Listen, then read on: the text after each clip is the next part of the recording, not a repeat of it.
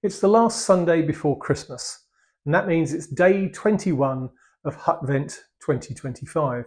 And today's film was going to be made by Lindsay, but sadly she's poorly at the moment, so she's gutted that she can't do this because it was one she was really looking forward to. But today we're going to look at the Lewis gun, because to be honest, you can't make a whole series of films about 1915 bits of kit and not mention the Lewis gun. The Lewis gun was designed by an American, Colonel Isaac Newton Lewis, and what a splendid name that was, in 1911. And the American army were not in the slightest bit interested. So eventually he found his way over to Europe and he goes to Belgium and the Belgians are very keen to make them. However, the war breaks out in 1914, so then the opportunity moves over to Britain and these are eventually made by the Birmingham Small Arms Factory, BSA, in Birmingham.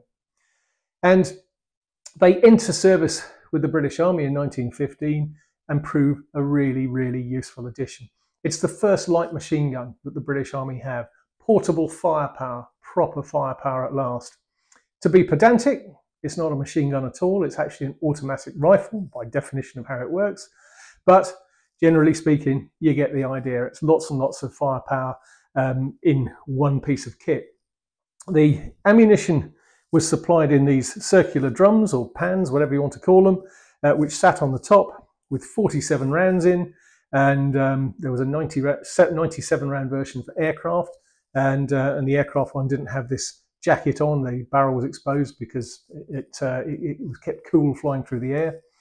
And the way that the barrel was kept cool uh, with, with, the ordinary guns is that inside here, the barrel runs up the center of this jacket with vanes all the way around it. And as you fire it, the explosion of the bullet at that end leaving the barrel sucks air through the vanes at this end and the cool air passes through and keeps it cool. It's clever stuff. And as you fire the rounds off, the magazine turns and as it spins, the empty rounds are then thrown out the side quite some distance as it then picks up the next round and puts it in. The, there would be a team of them and the numbers in the team vary throughout the war, so there's no point in quoting a specific. But basically, you always had a gunner and a number two. And the number two carried the spare parts bag, the number one carried the gun, and the number two was always on the left hand side of the gun because the rounds were spitting out on the right. And as the magazine was empty and the gun stopped firing, the gunner who was firing it would then take the gun off the magazine off the top of the gun. He would pass the empty one underneath, and the number two would then put the full one on top, ready for him to carry on firing. Now, in order to load them, there was a specific way of doing that because the magazine underneath had a spiral design to carry those 47 rounds, but there was a, a clutch to stop the center turning. So in order to make it turn so you could load it, you had to have a loading tool, which you put into a slot there like that. And when you pushed it down, it released the clutch so that you could turn the center so that it was able to be loaded. And then you'd take your 303 rounds. There were slots on the side of the magazine, which you would sit them in and then turn the magazine to the next one. And you could do this really, really quickly with practice and experience, which once upon a time I could do. and I can't anymore. And as you see, the thing gradually starts filling up with the 47 rounds. We'll just put five in just so you get the idea. And once you've loaded it with your 47 rounds, the magazines had got a, a marking on, a, a, sort of off-white or a khaki marking to tell you that that was the side nearest to you to give you a hand in semi-darkness or in the dark so that you could roughly see which way round it went. And then you'd sit it back on the gun like that.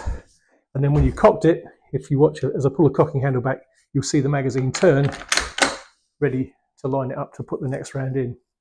I won't pull the trigger, it's deactivated and, uh, and the round can't go anywhere, but you get the idea. The rate of fire was 600 rounds a minute, although bearing in mind every 47 rounds you need to change it. But generally speaking, you would always just fire it in short bursts. But it was a very, very practical piece of kit. It meant that you could carry it across no man's land in an advance, and from a distance, it would just look like you'd carried in a rifle. So it was difficult to spot them and pick them off if you're a German soldier. The Germans loved them as well. If they had the opportunity to capture them, they would rechamber them to fire their ammunition. And, um, and they were also made uh, by all sorts of other countries. Uh, the Americans made them under license during the war as well uh, for the British uh, and, uh, and British and Commonwealth armies. But after the war, there were all sorts of other nations that, that, wore, that used them as well.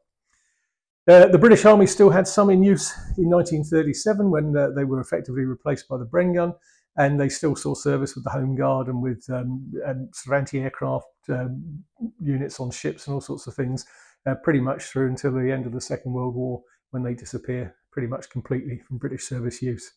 It was a popular piece of kit. It's a bit of a lump to carry, uh, but actually, as far as the fellas were concerned on the battlefield, it was a very, very useful addition to the armoury that they got.